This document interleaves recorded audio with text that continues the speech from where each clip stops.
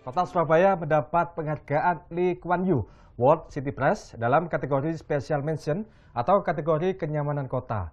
Oleh Wali Kota Surabaya Tri Risma Rini, sebingkai penghargaan ini diarak dari Makorem 084 Baskara Jaya menuju Balai Kota Surabaya.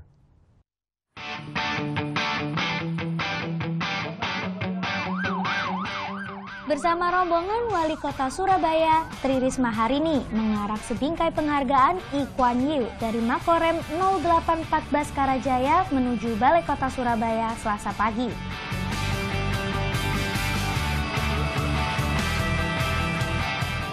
Penghargaan kategori Special Mention atau kategori kenyamanan kota ini diperoleh dari negara Singapura dalam acara World City Summit 2018 Senin lalu. Menurut Tri Risma hari ini, penghargaan yang diterima ini berkat kerjasama antara pemerintah kota Surabaya dengan seluruh warga yang dengan kesadarannya turut menciptakan kota Surabaya nyaman bagi siapa pun.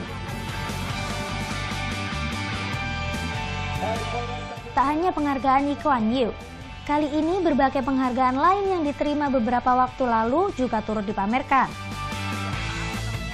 Ya, jadi sebetulnya tadi yang kita harap uh, penghargaan 2017 tapi internasional semua. Terus sama yang kemarin kita Likuan World City Prize 2018 yang kita arak, tapi sekaligus kita arak semua supaya masyarakat juga tahu bahwa kita banyak mendapatkan penghargaan internasional. Kalau untuk penghargaan yang terbaru itu uh, apa bu? Yang apa kategorinya apa bu?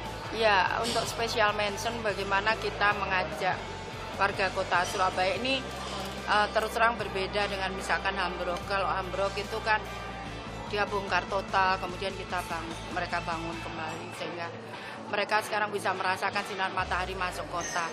Nah kalau kita kan kampung kita preserve gitu, terus kemudian kita berdayakan uh, kampung perkampungan itu sehingga mereka uh, apa namanya sehingga selain budaya juga kita mampu mempertahankan keberlangsungan sejarah kota.